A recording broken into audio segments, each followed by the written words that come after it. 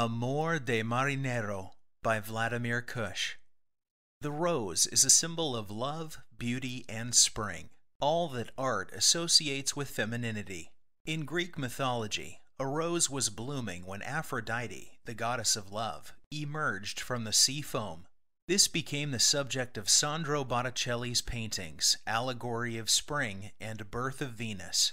With its bowsprit thrusting forward, the ship in the painting represents resolve and determination and is a symbol of masculinity. The curtain swaying with the wind, caressing and supporting the rose, her gazing through the open window, all speak of the emotional connection between the rose and her beloved. The theme of the painting echoes an older work, Rose Awaiting.